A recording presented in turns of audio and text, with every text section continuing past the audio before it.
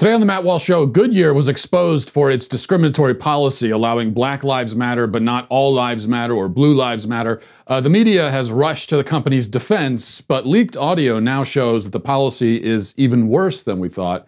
We'll talk about that and I'll play the audio. Also, five headlines, including a stirring speech from a pop star at the DNC convention last night. And in our daily cancellation, we'll discuss the vile left wing mob that randomly destroyed a man's life because of an innocent typo in a tweet. All of that and uh, a lot more on the way. Packed show today. But first, I'm truly excited to tell you about uh, a new sponsor on the show called Charity Mobile. Honestly, you know, you couldn't ask for a better transition here. Uh, it, it, really works out because I think today, especially, we're all thinking, you know, that we'd like to find companies that support our values. Well, they are out there, believe it or not. And when you find them, you got to support them. We can't just see them and say, oh, hey guys, great, thumbs up, good job. But uh, and then not support them. No, it's up to us to support the companies that support us. And that's what uh, Charity Mobile is all about. Charity Mobile is the pro life phone company. 5% of your monthly plan price goes to the pro life, pro family charity of your choice. Um, that to me is, is the headline, but there's a lot more to it than that. New activations and eligible accounts get a free cell phone with free activation and free shipping. Credit check required, restrictions apply on that. Listen, uh, there are no contracts, there are no termination fees, no risk with a 30 day guarantee. And you'll get uh, the live customer service based in the USA as well to help you out if you need it. And I've dealt with these guys over at Charity Mobile, and they're great. Really nice, helpful, uh, living up to the to the name, I would say. The way I look at it is uh, it's pretty simple. Uh, I love Charity Mobile because I'm getting a great price, I'm getting a great deal, I'm getting a great great service, a great product. But at the same time, I'm supporting a, a worthy cause, the most worthy cause, the pro-life cause. So it's a win-win-win all the way down the line. So do yourself a favor uh, and call Charity Mobile at 1 877 474 3662. That's 1 877 474 3662, or chat with them online at charitymobile.com. Okay, after a leaked slide from an employee training course at the Goodyear Topeka plant went viral, revealing a discriminatory policy that allows Black Lives Matter and LGBT shirts and apparel, but not Blue Lives Matter or All Lives Matter, the media has been scrambling to come up with some sort of excuse for their new favorite tire company. They're especially determined to defend Goodyear now that President Trump has stepped into the fray to voice his entirely justified objection to a company that allows expressions of support for a radical, violent Marxist organization, but no expressions of support for law enforcement uh, or even all lives in general. After supporting the boycott calls on Twitter, Trump was asked about it during a press conference, and here's how that went. Mr. President, I want to ask you about your tweet earlier today on Goodyear. It was essentially calling for a boycott on Goodyear tires. Do you want the federal government to stop buying and using Goodyear product as well? And is there well, anything? I'm not happy with Goodyear because what they're doing is playing politics. And the funny thing is, the people that work for Goodyear, I can guarantee you, I poll very well with all of those great workers in Goodyear. And uh, when they say that you can't have Blue Lives Matter, you can't show a blue line. You can't wear a MAGA hat. But you can have other things that are Marxist in nature. Uh, there's something wrong with the top of Goodyear. And what the uh, radical left does is they make it impossible for people to do business if they're Republican or if they're conservative. They put out all sorts of effort. Uh, don't shop there. They do vicious things not so different than what you saw on the streets of Portland two nights ago. Boycott? Do you envision? Oh, I don't know. That's up to people, but I wouldn't recommend it if they if they want to hold political speech, if they want to let you not do what everybody's doing, if they want to wear a MAGA hat or if they want to wear a Blue Lives, you know what Blue Lives Matter, right? That's policemen and women. Uh, that's a terrible thing. That's a terrible thing. So they're using their power over these people, and these people want to wear whatever it is that we're talking about. You know that. Now, Goodyear has issued a clarification, which, after sifting through the obfuscating jargon, is actually not a clarification at all. Less is it an apology. So here's the statement in full. I'm going to read the entire thing to you, uh, just so you know that I'm not trying to take stuff out of context. So bear with me. This is the entire statement from Goodyear. This is what they have to say in their defense. And the, and the media has, uh, has, has, has you know, uh, passed along this statement saying that it sort of puts everything to rest. This is what they say. Yesterday, Goodyear became the focus of a conversation that created some misconceptions about our policies and our company. For those not aware, a widely circulated image sparked a strong reaction, and we wanted to take the opportunity to provide some important context to the visual and uh, our policies. Uh, they continue. First, the visual in question was not created or distributed by Goodyear Corporate. Notice the wording there. We'll get back to that. Nor was it part of a diversity training course. To be clear, on our long-standing corporate policy, Goodyear has zero tolerance for any form of harassment or disc- discrimination. To enable a work environment free of those, we ask that associates refrain from workplace expressions in support of political campaigning or any candidate or political party. Apparently, it doesn't include Marxist political organizations, as well as similar forms of advocacy that fall outside the scope of racial justice and equity issues. So, those are the only issues you're allowed to talk about, but there's a problem there, which we will also get to. Second, they continue, we appreciate the diverse viewpoints of all of our more than 60,000 associates, which are at the heart of many of the policies we establish. Fostering an inclusive, respectful workplace is important to establish teamwork and build culture, which is another reason we ask associates not to engage in political campaigning of any kind in the workplace unless it's for Black Lives Matter. That's me talking, not them. For any candidate, candidate, uh, party, or political organization. Third and finally, Goodyear has always wholeheartedly supported both equality and law enforcement and will continue to do so. These are not mutually exclusive. I agree. You're the one, Goodyear, who said that it was. Uh, they continue, we have heard that from some of you that believe Goodyear is anti police after reacting to the visual. Nothing could be further from the truth, and we have the utmost appreciation for the vital work police do on behalf of our shared community. This can't be said strongly enough. Okay. So the slide was not created or distributed by Goodyear Corporate, and it's not part of a diversity training class. That is a far cry from denying that it exists or that it accurately reflects their policy. The rest of the statement would only seem to confirm, in so many words, that employees are only permitted to voice certain approved views on certain approved issues. Now, audio from the training session at the Topeka plant has been leaked to WIBW, the local uh, news channel there in Topeka. And this would seem to put all doubt to rest. According to the audio, employees are instructed that they may, quote, express their views on social justice or, or inequity or equity issues such as Black Lives Matter or LGBTQ pride on their face covering shirts or wristbands. They are informed that such expression is, quote, approved and in accord with the, quote, zero tolerance policy. However, any associate who wears anything that says, quote, all blue or white lives matter will be deemed as having acted inappropriately. All right, here, listen, listen for yourself. Pride on their face covering shirts or wristbands, that will be deemed approved because it complies with zero tolerance stance. However, if any associate wears all blue, white lives matter shirts or face covering coverings, that will be not appropriate. The unidentified speaker says the rules were created to make a better work environment. There's rules now around what you can wear. Um, let's try to comply with these so that way, uh, you know, everybody feels good in this, this factory. I want to make sure, guys, think about what we do in this factory, right? We all work together to make tires. That's what we do. That's what we get paid to do. So let's continue to do that and do the right thing keep this place uh, what it's always been a good place to work.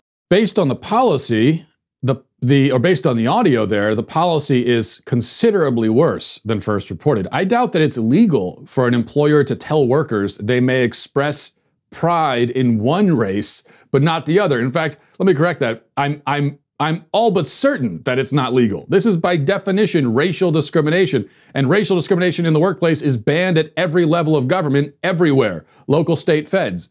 Now, the, uh, the shameless hypocrites in media who have previously claimed that cancel culture is a myth insist that those of us who object to this grotesque, explicit discrimination are participating in cancel culture. CNN declared in an article that President Trump has embraced cancel culture by speaking out against Goodyear. MSNBC liked that talking point, they adopted it as well. Uh, in their headlines, alleged news anchor Don Lemon lashed out at Trump, calling him the biggest snowflake of them all and a hypocrite when it comes to cancel culture. And for good measure, he's also a bigot and a racist. Listen. We should point out the presidential limo, Don, is equipped with Goodyear tires, and the company has a long-standing relationship with the Secret Service and the U.S. military. What do you make of this call to boycott a big American company? Well, two things. The president is, he likes to call people snowflakes and names. He's the biggest snowflake of them all. And we should mention, I should mention, he has criticized me, he's criticized you, he's criticized my colleagues, he's called for the cancellation uh, of CNN, and he tried to get involved in the AT&T merger. So he is a hypocrite when it comes to cancel culture. Number two, it's because he is he's afraid, Anderson, that he is about to be canceled and canceled by the voting public, uh, the American people. So I think, listen, we shouldn't be surprised that this president is a hypocrite. We shouldn't be surprised that he is making something political that's not. We shouldn't be surprised that he's a bigot. He's a bigot, he's a racist, he's a hypocrite. Those aren't opinions, those are facts. Right. Okay. Okay. Well, don't worry. You know, a news anchor can say all of that. He hasn't forfeited his objectivity because we're informed these charges are not opinions, but rather facts. Well, all right then. It's all good. Speaking of hypocrisy, though, we don't need to strain very hard to imagine how the likes of CNN, MSNBC, Don Lemon, everyone else on the left would react if Goodyear or any other company instituted a policy in the reverse. If the rules allowed for all lives matter and blue lives matter, but explicitly banned black lives matter, every single person currently defending Goodyear and mocking us as snowflakes for criticizing them would be convulsing with rage. And if, I shudder to even imagine, Goodyear had said that white lives matter is acceptable and black lives matter is not, can you imagine? All of these same people would be accusing the company of committing a hate crime and calling for it to be disbanded by the government, and you know it. And those would be the most reasonable and measured responses. We can also assume that a few Goodyear locations would right now be lying in smoldering ruins, and the looters would have a stash of tires to go along with their burgeoning collection of stolen shoes and purses. There is no denying this. Again, we all know how it would go. Yet we're supposed to shrug at discrimination in the other direction, if not applaud it. That, that is really the expectation. There is no real justification offered for any of this, no reason, no defense, at least not a coherent or persuasive yet one. It's just how it goes. Yes, you peon. The rules say that certain races can express pride, others can't. Certain races can announce that their lives matter, others can't. Anti discrimination policies apply to certain races, not others. Racism is not okay in one direction, but it is in the other. You peon, you rube, just accept it. We're told. Follow the rules. We can't explain them to you anyway because you're too stupid to understand. Just be a good boy and do as you're told. Here's a pat on the head. And, and Goodyear is getting their pat on the head for being a good little boy, for dutifully adopting racism and calling it anti racism, for banning diversity in the name of promoting diversity, for taking a position that only a lunatic could really believe, namely that declaring allegiance with a Marxist political organization is non political, while expressing support for law enforcement or simply for life universally is political. For that, they get their pat on the head.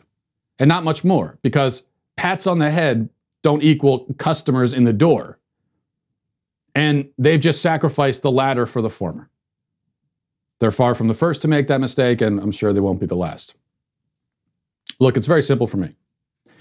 I am not going to play along with this game.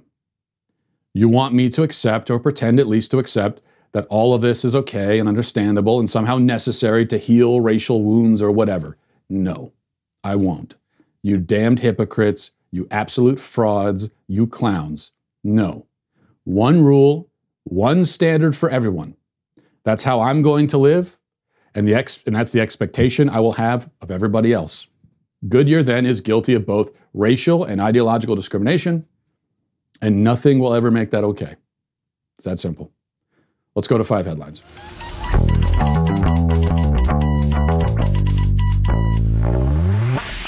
Let me tell you first about Policy Genius before we get into five headlines. Uh, your, your, your, your loved ones, you got to think about the situation they're going to be in if you happen to, you know, kick the bucket, croak, as they say, uh, without having life insurance think about the situation they're going to be in. With everything going on right now, a lot of people are asking if it's even possible to buy life insurance at all. And the answer is yes, it's still easy to shop for life insurance. Not only can you do it, it's easy to do it. And if you have loved ones, depending on your income, you probably should get to that right now. Uh, right now, you could save $1,500 or more a year by using Policy Genius to compare life insurance policies when you're shopping for a policy that could last for a decade or more uh, those savings really, really start to add up. What is Policy Genius? Well, it's an insurance marketplace. It's built and backed by a team of industry experts. And here's how it works. Step one, head to policygenius.com. In minutes, you can work out how much coverage you need. Step two, apply for your lowest price. Step three, the Policy Genius will handle all the paperwork and red tape from there. So really easy, one, two, three. Uh, on your part, you know, on your end, Policy Genius is going to do most of the work for you. Policy Genius works for you, not the insurance insurance company. So if you hit any speed bumps during the application process, they're going to take care of everything for you.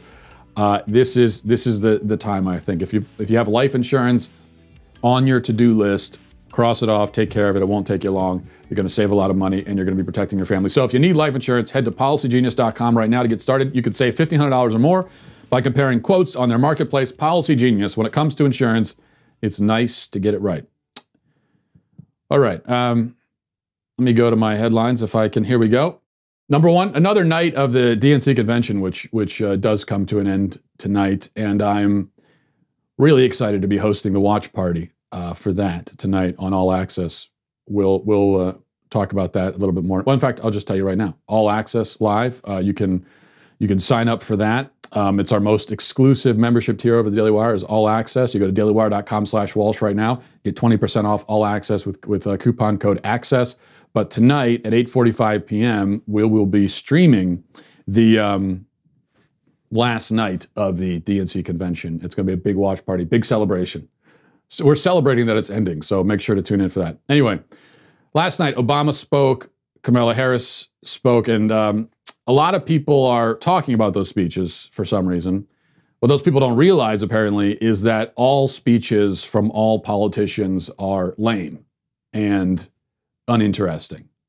Like, have, have you ever, so anytime there's a political speech and people are reacting to it in this big way, making a big deal of it, as people are with Obama's speech, you know, but ha- have you ever in your life actually, and maybe there's something wrong with me. So I'm going to ask you have you ever heard a, a, a political speech in which something was said that made you go, oh, wow, that's a great insight? I never thought of it like that. In, in your entire life, have you ever heard a political speech that had a moment like that? I never have, and I've heard a lot of them. I've heard non politicians give talks and speeches like that, but I've never heard that from a politician ever. So political political speeches are always telling you everything you already know and want to hear, or at least what one side or the other wants to hear, but packaging it in a smoother and more eloquent way. Which you know, there's a skill involved in that, but but uh, there's there's just there's I, I, the way people react to political speeches sometimes I think is there something wrong with me that I don't see it because I listen to that and I say oh yeah well it just sounds like every other speech I've ever heard from a politician nothing special there. Uh, so we're going to skip over most of that, but I want to talk instead about the biggest speech of the night from a non-politician, uh, the megastar. I'm a huge fan myself. Billie Eilish was at the convention to perform, and Eilish, despite being only 13, 14 years old, decided to begin her performance with a little political lecture for us, which I, which this I, I did hear quite a lot in this that, that I thought, thought was valuable insight. And uh, here it is. Listen. You don't need me to tell you things are a mess. Donald Trump is destroying our country and everything we care about. We need leaders who will solve problems like climate change and COVID, not deny them. Leaders who will fight against systemic racism and inequality. And that starts by voting for someone who understands how much is at stake, someone who's building a team that shares our values. It starts with voting against Donald Trump and for Joe Biden. Silence is not an option, and we cannot sit this one out. We all have to vote like our lives and the world depend on it because they do. The only way to be certain of the future is to make it ourselves. Please register. Please vote. Yeah, uh, really good stuff there. Is she standing in a forest, by the way? Like that's what I couldn't. I, the whole time I'm trying to figure out. It sounds like there's crickets in the background, and she's in a like a foggy, misty forest. They gave everybody else sound stages and studios, and they made her record in a haunted forest. That seems unsafe, frankly. Is this the first address ever given from a haunted forest at a political convention? That's what I want to know. That would be good trivia. I think it might be.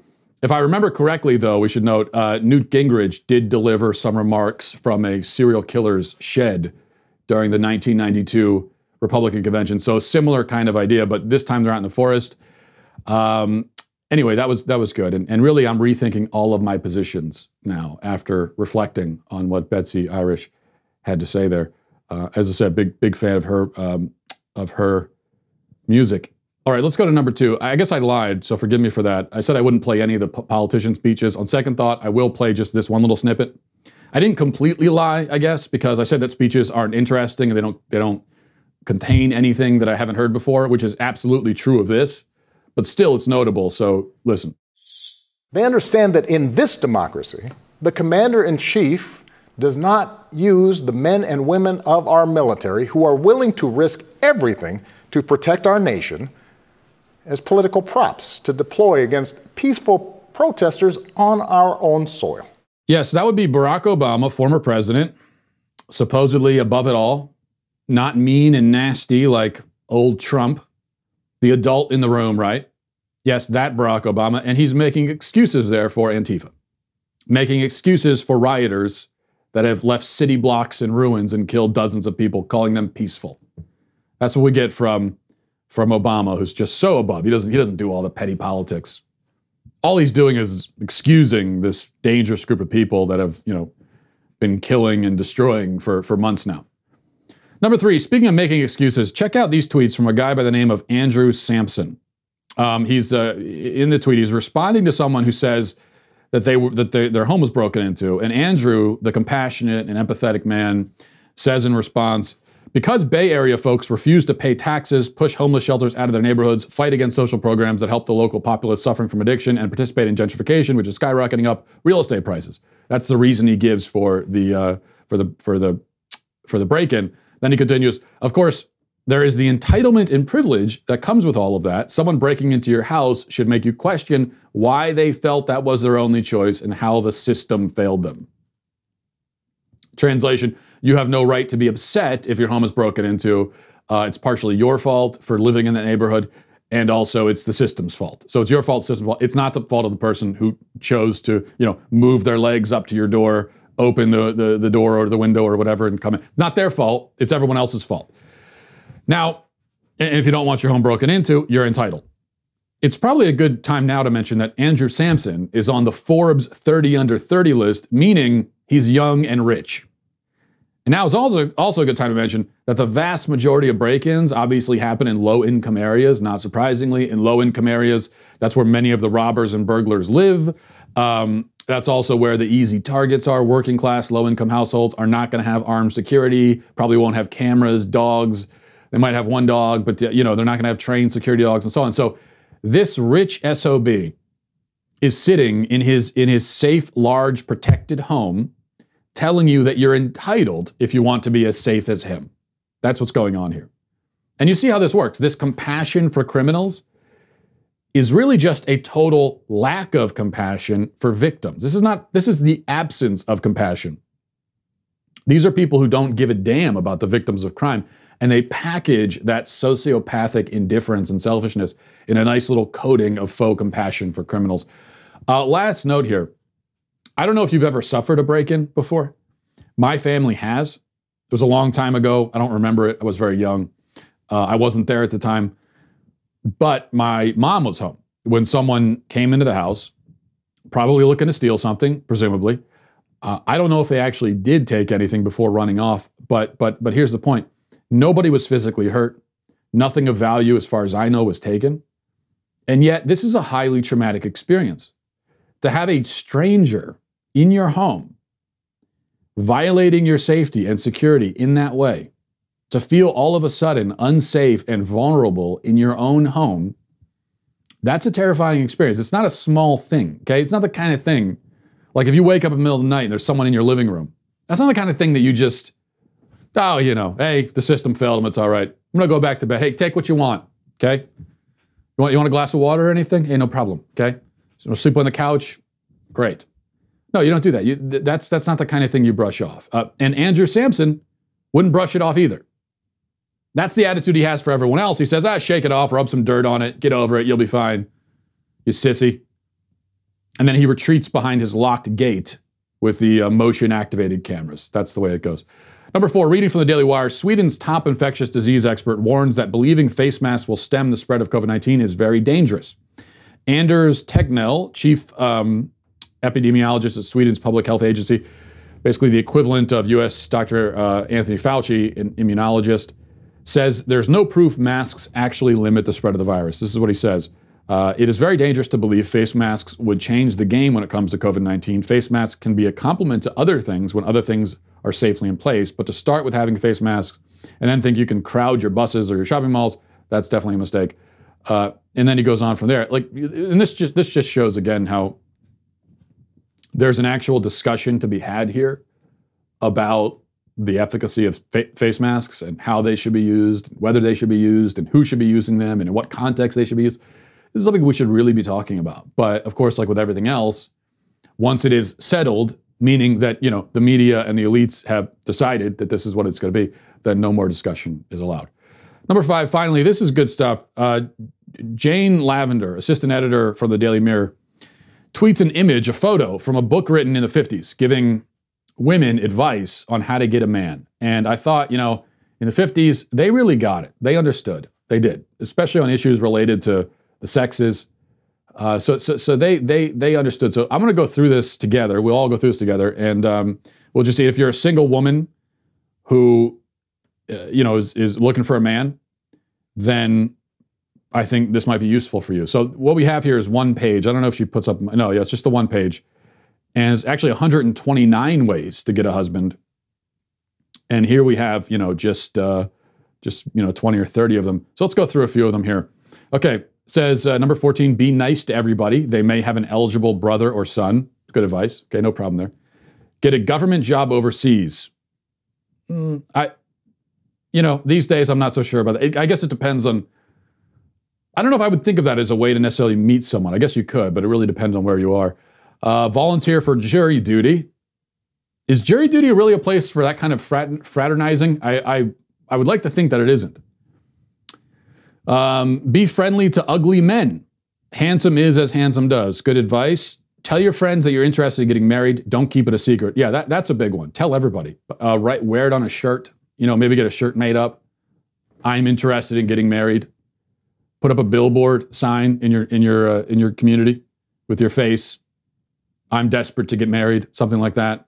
That's going to advertise, and uh, the suitors are going to show up to your door. I think maybe not to your door. You probably wouldn't want that, but I like this one. Get lost at football games. It's great. I have been lost uh, at football games, and I didn't meet any eligible men. I can I can tell you when I was when I was lost. Uh, mainly because I was ashamed that I was lost at a football game. Don't take a job in a in a company run largely by women. Okay, here's a good one. All right, now we finally got down to business here, so to speak. Number twenty: Don't take a job in a company run largely by women. Uh, you might argue. I'm not. I'm not saying that I'm saying this. I'm not saying that I'm not saying this either. But someone might say that that is actually good advice in general for everybody across time and space. Some might say that. I've, I've heard some say that. Some say it, some don't say it. That's all. Um, get a job demonstrating fishing tackle in a sporting goods store. Demonstrating fishing tackle in a sporting. This is written by. See, at first I thought this has to be a list written by a man based on the advice, but this advice here tells me this is a list written by a woman because this is written by someone who's never been in a sporting goods store. I've, I've been in many sporting goods stores in my time. I've spent way too much time and money in them. In fact, an embarrassing amount of time and money. Uh, I've never seen someone there like demonstrating the fishing tackle. How would you even do that? Are they going to have like a, a waiting, a baby pool? And they're going to have the jig on there and they're, they're casting in. And I, what does that, what would that even look like?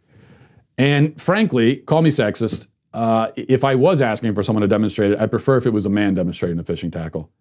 This kind of takes me back. I went to a cigar shop not long ago, and uh, it was, it was I, I, again many many cigar shops in my day. Again, an embarrassing amount of time and money spent in them. First time in my life I've ever seen uh, a woman that was there in explaining all the different cigars and, and which hey, she has every right to. Perfectly fine. I'm progressive, so I I was fine with that. But there was a, a part of me, you know, there was it was a part of me taken aback by it. That's all I'm saying. Not in a negative way, okay? So I'm thinking it'd be the same thing with a woman demonstrating fishing tackle. So I don't know about this one. Um, let's see. Uh, let's see. There's any other. There was a lot of advice here. We won't go through all of this, but carry a hat box. what? How would that help? What is a hat box? A box with a hat, I guess. See, this is how.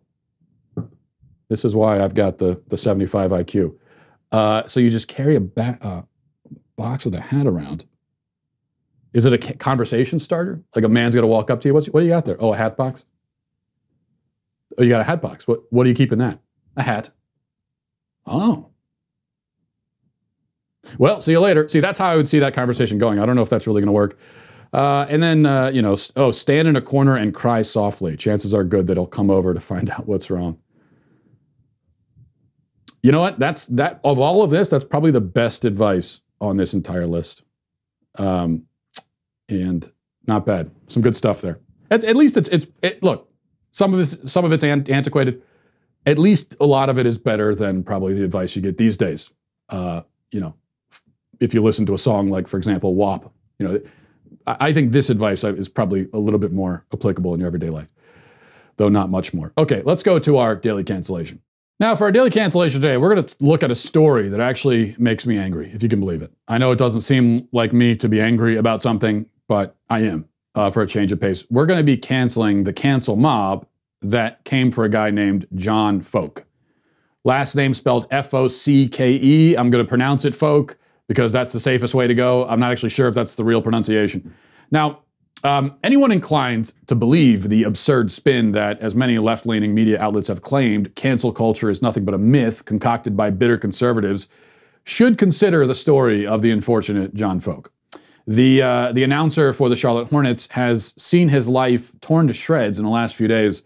He's indefinitely suspended from his job. He's been condemned and ridiculed all over social media. Major publications and, and, and, and national media personalities are accusing him of bigotry and worse all because his thumbs landed on the wrong letter while composing a tweet.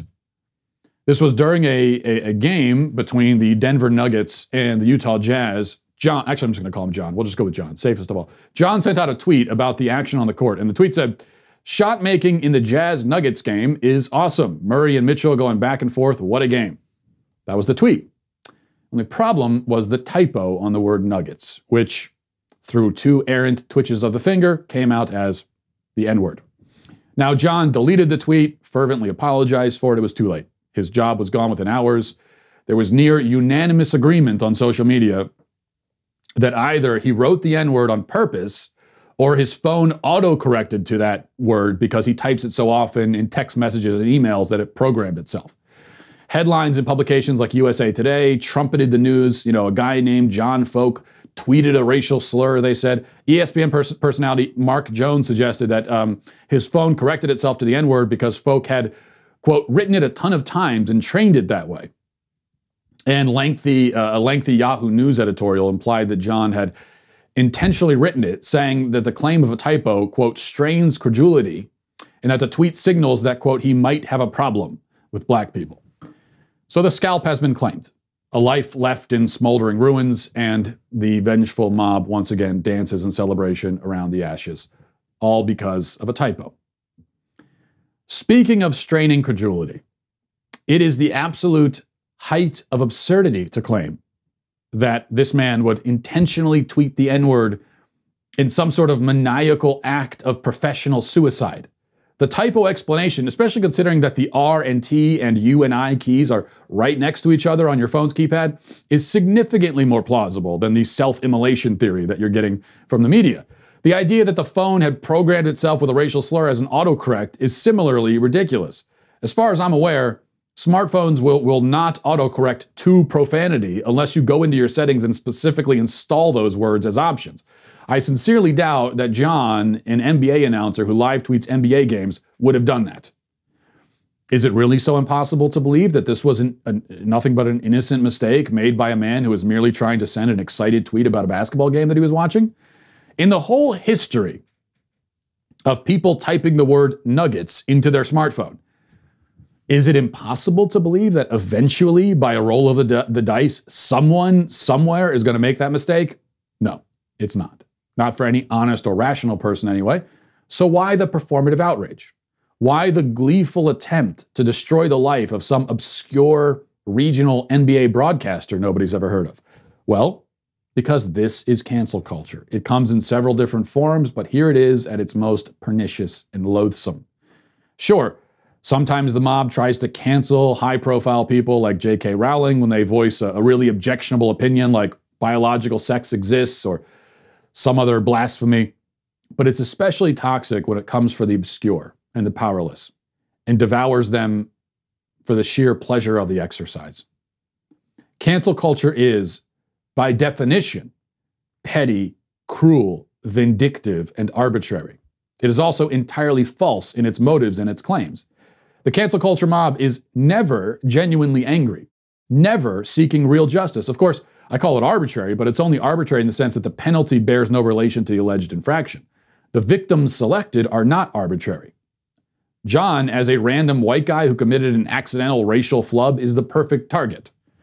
We know, of course, that if, that if he was non white and had actually intentionally tweeted slur, slurs about white people and admitted that it was intentional, there would be no mob coming for him at all, and he would still have his job. So the victim selection here is not uh, completely arbitrary, but it is, again, petty, cruel, vindictive, and also hypocritical, of course. It's funny that the people who called for this dude to be fired are largely the same ones who'd insist that rioters and looters and other violent criminals should be given grace and patience, and their actions ought to be understood in context. Burn a house down, loot a store, assault a random pedestrian, break into someone's house, like we just heard, that's deserving of our understanding. In that case, we, we should consider the overall context of, of the actions. But accidentally hit the wrong keys with your thumb, death penalty. You're finished. That's how it goes because it's all a game to these people.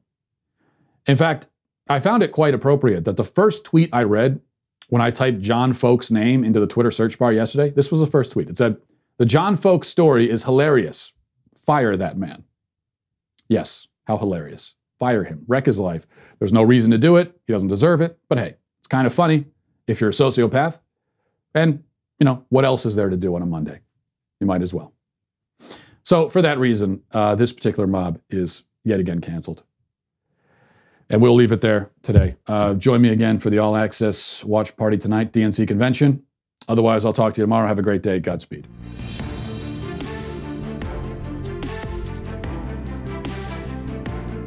The Matt Walsh Show is produced by Sean Hampton, executive producer Jeremy Boring. Our supervising producers are Mathis Glover and Robert Sterling. Our technical producer is Austin Stevens, edited by Danny D'Amico, and our audio is mixed by Robin Fenderson. The Matt Walsh Show is a Daily Wire production, copyright Daily Wire 2020. President Trump addresses QAnon. A New York Times editor doesn't even Google the man he smears, and Goodyear has a bad day.